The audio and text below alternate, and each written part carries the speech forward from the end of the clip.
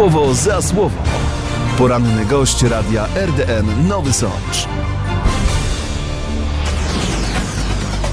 Dzień dobry, witam serdecznie. Burmistrz Starego Sącza Jacek Lelek w programie Słowo za Słowo. Witam serdecznie. Witam serdecznie pana redaktora, witam państwa. Niestety y, korki i remonty w Nowym Sączu utrudniają życie.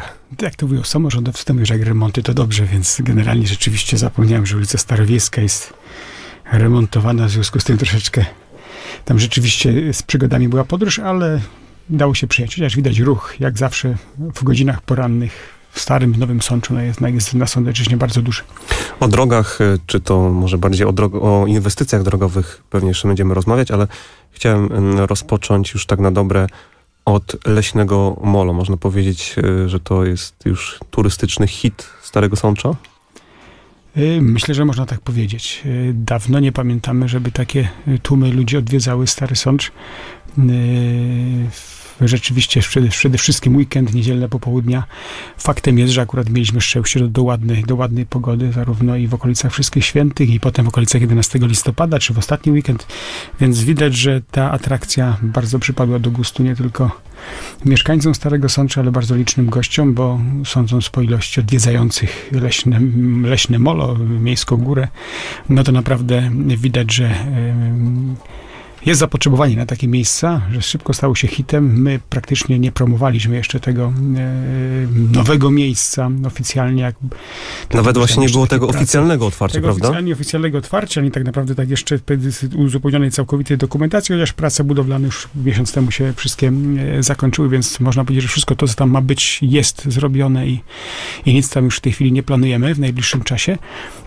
E, ale rzeczywiście, no, to jest potęga y, dzisiaj mediów społecznościowych, potęga Y, takiego przekazu, no ale mediów też, ponieważ media też dosyć mocno tą inwestycją się interesowały od samego początku, a, a historia Leśnego Mola jest dosyć długą historią już, więc, więc nie, niejednokrotnie na temat tego miejsca tutaj już również na antenie Radia RDN rozmawialiśmy. Tak i też około trzy tygodnie temu, kiedy dostałem zdjęcia właśnie z Leśnego Mola, że jest tam pełno ludzi i troszkę byłem zaskoczony, y, bo nie było informacji o oficjalnym otwarciu, też y, udostępniliśmy na naszej stronie internetowej i na Facebooku E, informacja o tym, że, że już bardzo dużo ludzi odwiedza Leśne Molo i cieszyła się ta informacja bardzo dużą popularnością właśnie e, również w sieci.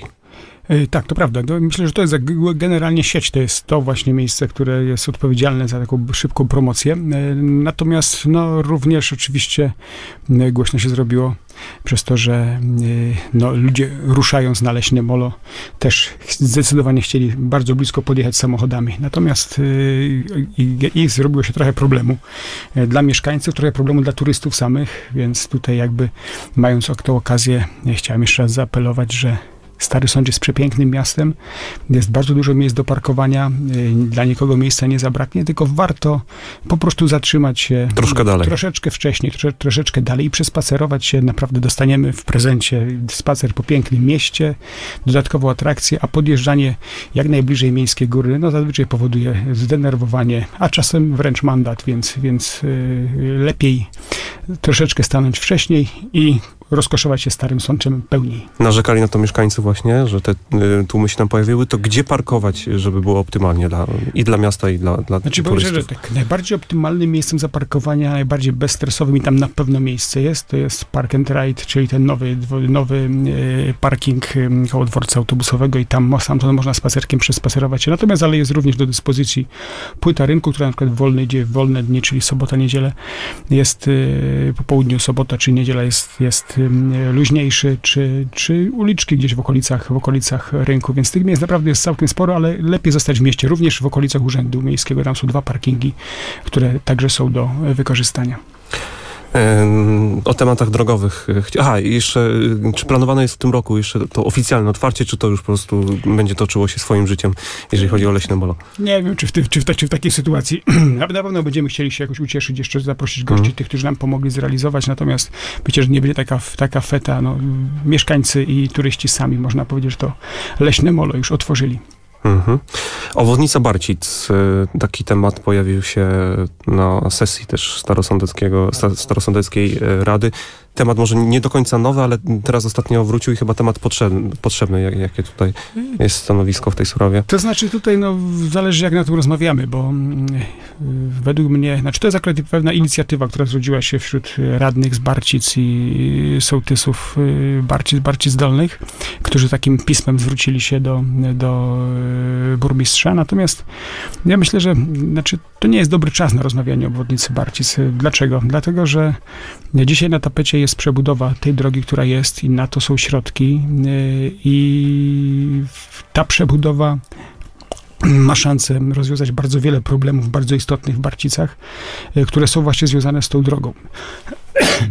tak czy siak, czy byłaby obwodnica, czy nie byłaby obwodnicy, te problemy są do rozwiązania konieczne. To jest kwestia odwodnienia, to jest kwestia y, skrętu na, w kierunku y, Przysietnicy, to jest kwestia tych feralnych zakrętów, na których tyle Ten słynny ostry zakręt w Barcicach. Te, dwa, te, tak? dwa, te dwa zakręty ostre, więc tak czy siak one są, to są problemy, które są konieczne do rozwiązania na tej drodze. I dzisiaj na tapecie, gdy Generalna Dyrekcja ma tą inwestycję i wokół niej jest wiele dzisiaj e, problemów, mi się wydaje, że warto się skupić tutaj, bo to jest realne i to można e, dzisiaj zrobić. Natomiast y, to, co zostało przedstawione, to mm, jest tylko pewna jakaś taka, nie wiem, pomysł na razie, bo, bo to nie... No i proponowany nie, nie, przebieg tutaj jest no, ale ten jakiś, proponowany mhm. przebieg, no trzeba by tutaj powiedzmy jeszcze jest, no, on nie jest poparty żadnymi jakimiś tam eksperckimi na razie Mhm, e, analizami, czy to w ogóle jest możliwe, czy to jest y, y, oczywiście racjonalne, ekonomicznie, to już jakby później, późniejszy etap, ale czy to w ogóle jest możliwe technicznie do wykonania. Pamiętajmy, że tam bardzo mocno wchodzi to w koryto y, Popradu, bardzo mocno. Musiałby powstać most, zdaje się, zgodnie z tą no, tam koncepcją. generalnie, gdyby, tak, gdyby tak się przywiązać do tej kreski, która została przedstawiona, tam nawet cztery mosty są, no ale Mhm. zakładam, że, że z dwóch można by dosyć szybko y, zrezygnować, ale nawet dwa dodatkowe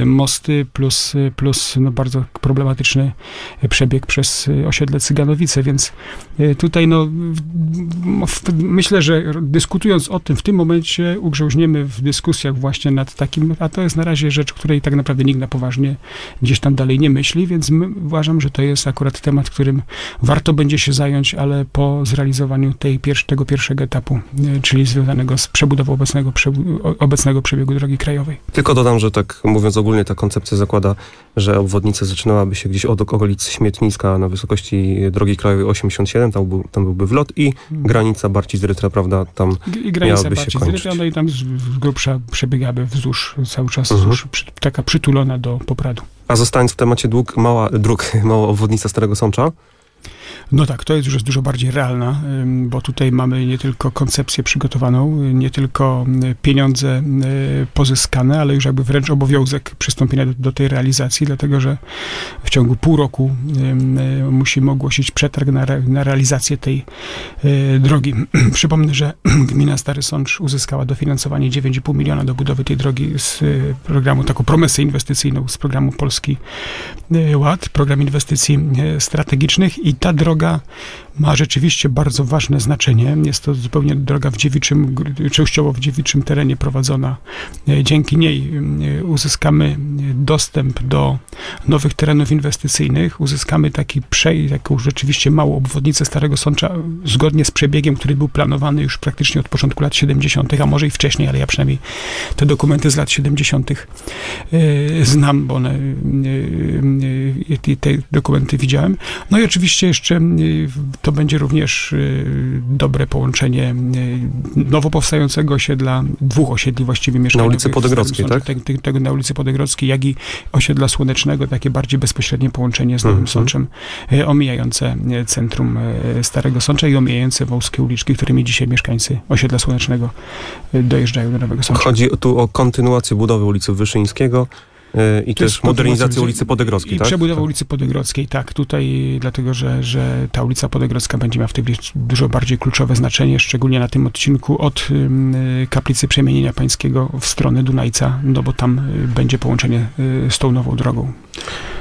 A czy jakieś nowości w temacie kładki nad ulicą Jana Pawła II? Też kiedyś poruszaliśmy ten temat E, naszej tak, antenie. to rzeczywiście nowości są, bo wczoraj odebraliśmy y, prawomocne pozwolenie konserwatorskie na realizację tej inwestycji, y, co otwiera nam drogę do złożenia wniosku o pozwolenie na budowę mm, i więc liczę na to, że, że mniej więcej na przełomie roku będziemy mieli pozwolenie na budowę i będziemy mogli ogłosić przetarg na realizację tego zadania. Tu rzeczywiście bardzo dużo było mm, elementów, które przeciągały ten element projektowania, latach chodziło o kwestię pozyskania gruntów, pewnych porozumień, wcześniej również uzgodnień konserwatorskich, uzgodnień wcześniej jeszcze zmiany planu zagospodarowania przestrzennego, więc tutaj naprawdę była bardzo taka trudne przygotowanie tej inwestycji, ale już można powiedzieć, że jesteśmy na ostatniej prostej, tej papierowej, co otwiera drogę do, twoje, do, do ogłoszenia przetargu.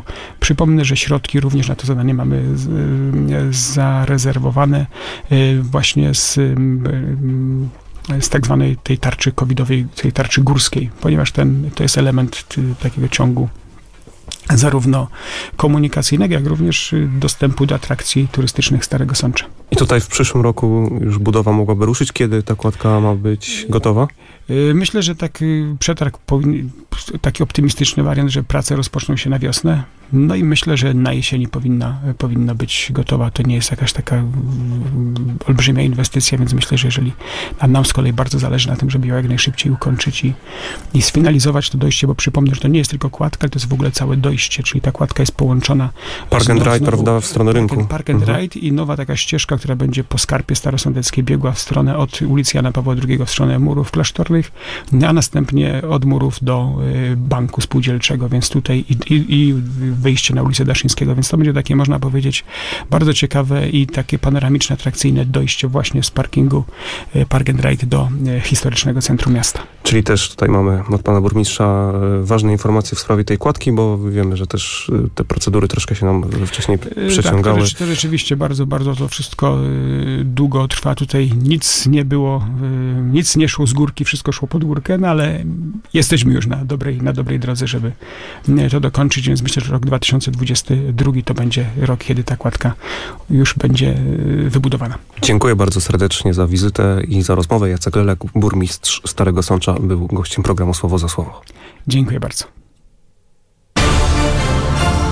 Słowo za słowo. Poranny gość radia RDN Nowy Sącz.